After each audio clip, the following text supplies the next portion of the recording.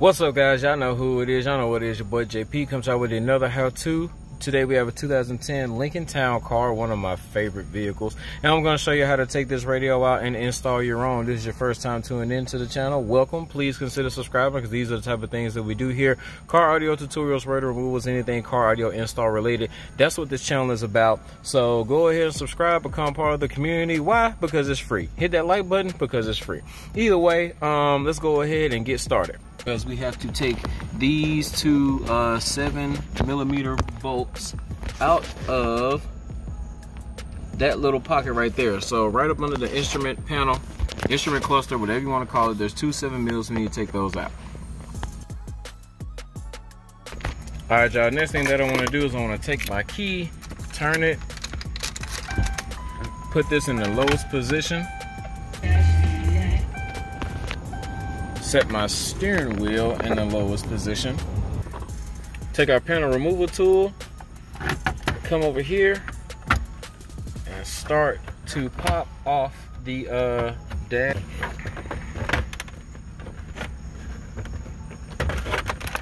That piece right there, that piece right here. It is all one piece. Come over here. It's not gonna go down like that. All right, pop those out.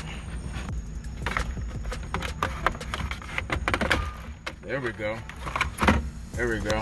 So now that we have that loose, those two seven mils are at the top and everything else is just held in by clips right along the little side of the panel. So we wanna come behind here, right there. So we need to take that harness out.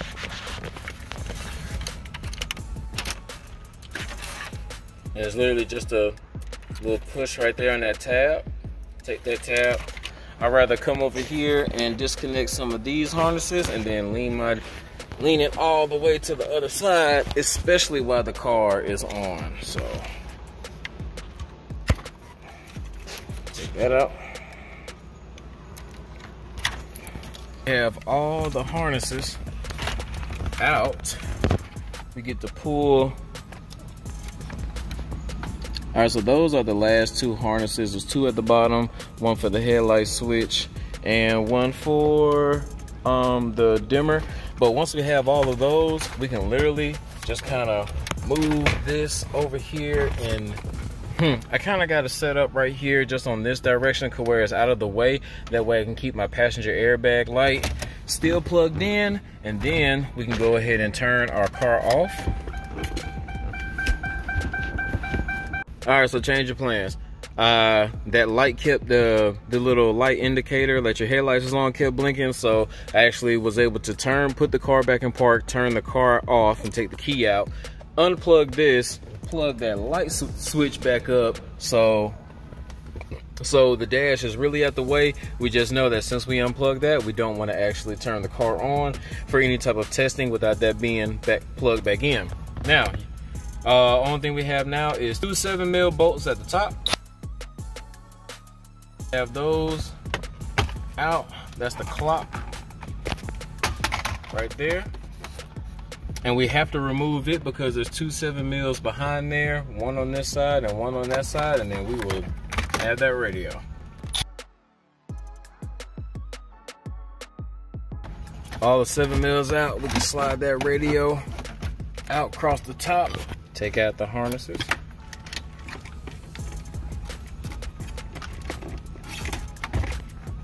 And there you have it. We have that radio out. Now let's get over here to the uh, test bench and get that dash prep. Alright y'all, so we are here at the test bench. We have our aftermarket radio with the dash kit. Now the dash kit does come in three pieces. I just want to halfway put it on so you can see what it looks like versus what we're going to do. And don't worry about it, we'll have all the descriptions, all these parts listed for you in the description.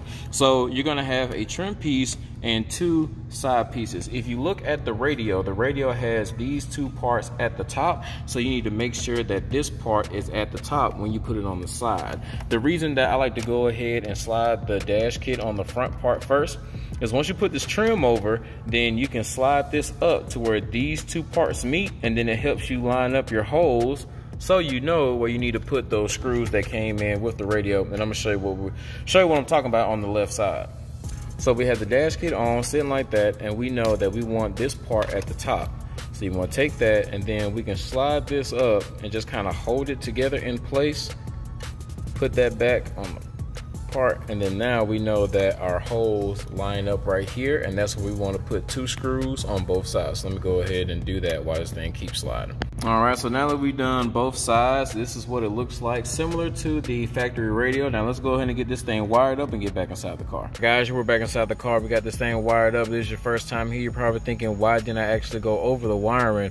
Well, I have over 200 different radio removal and install videos, and it would take too much time to go over the CD player wiring every single time. So to save time, I actually made one video showing you how to wire up a radio. I go over the aftermarket wire colors, what all of them mean, and different types of connections. Yes, every car is different, but as long as you buy the harness and know what these aftermarket wire colors are, then you'll know how to install this. Now, if you cut the harness, I also made a video on showing you how to hardwire your CD player. I actually have two of those, and I have a whole how-to playlist that, and the reason I made those videos is because if I make it once, I won't have to make them again every single time I do one of these videos, and I can keep these short, sweet, straight to the point, and most efficient as possible.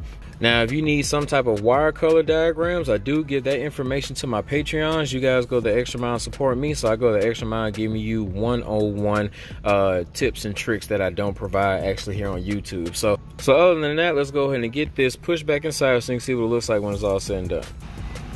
Alright guys, this is what it looks like when it's all said and done. If you find any type of value in this video, please hit that like button. Don't forget to subscribe, share, comment if you want to. And our product links in the description, Patreon links in the description. If you don't want to be a Patreon, but this video still helped you out, hit that heart at the bottom, man. Until next time, it's your boy JP signing out. Y'all be blessed.